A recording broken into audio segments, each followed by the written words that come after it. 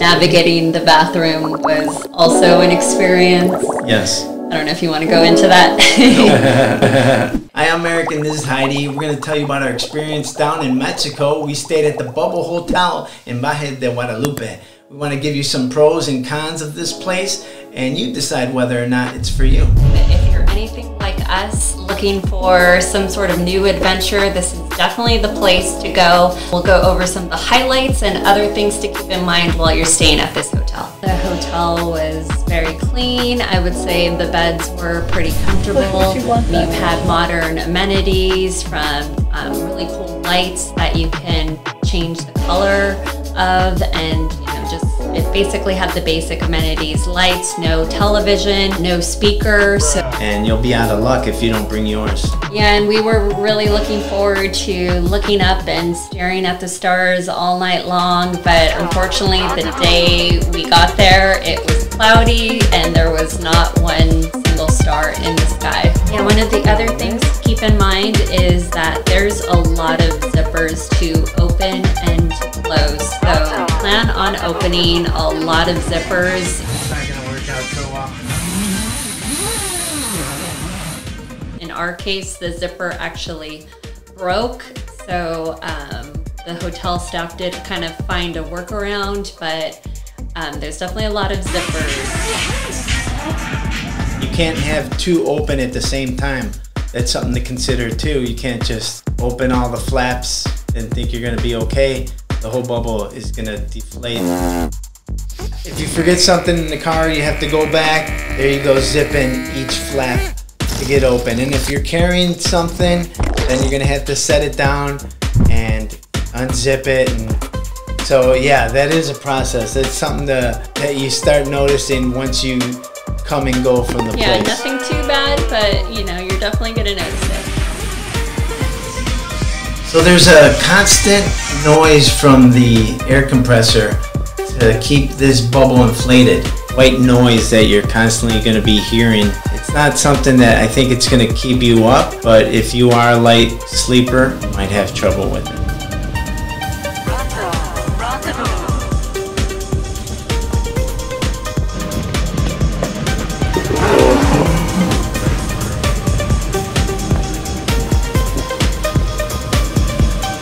Smells good.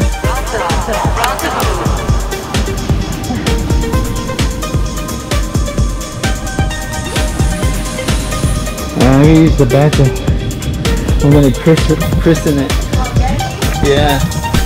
Oh my god.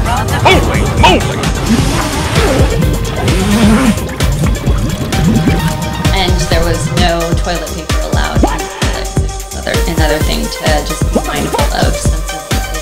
definitely a unique experience. toilet is not bolted down. There's nothing securing that toilet to the ground. It's just sitting over that sewage. If those wooden planks move, you're gonna move with it, and you might have a bad time. Yeah, this is definitely just a one day type of deal. Uh, you don't want to be here if you're hungover, and there's no AC in that bathroom. After taxes, it was $293 with the bubble that comes with the bathroom. You could option out for one that doesn't have a bathroom in it, and uh, that'll be less expensive.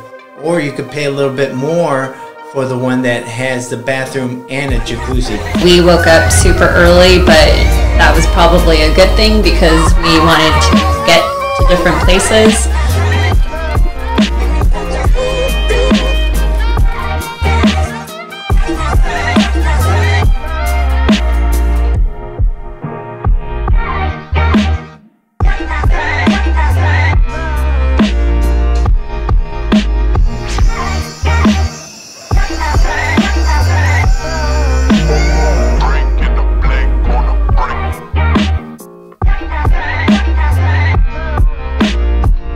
Luckily, we went when it wasn't too hot or cold, so we didn't have any of those issues, but we did see a lot of those comments. So I would also say that, you know, the shower um, was a small shower, but, you know, it was, they did have um, warm and cold, cold water.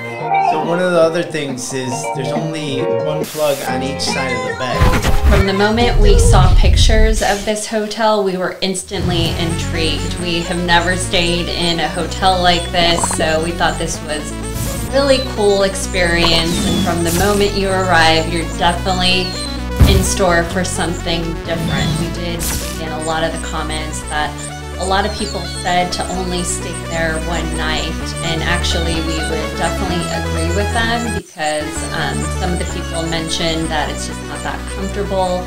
We had a view of the vineyard. I think it was an experience like no other. And I think that something that we'll always remember. It was really cool to see that we could just drive down to Mexico and stay in a place like this. You have to check in with the security guard to come and go with your car if you're leaving the property. Uh, if you're someone that's not really outdoorsy, uh, this is not for you. Leave us a comment and let us know what you think. So overall, I think I'd give it a three stars out of five. I think that the place was super clean, very secure. It was a unique experience. It looks super cool. I'm fine with three stars. Um, I was happy. I think one night is sufficient. We went in June of 2021, so I think that the weather was ideal. We had a great overall experience. Let's end the video, guys. Leave us a comment. Let us know what you thought of the video, and let us know if you would ever stay in this sort of hotel.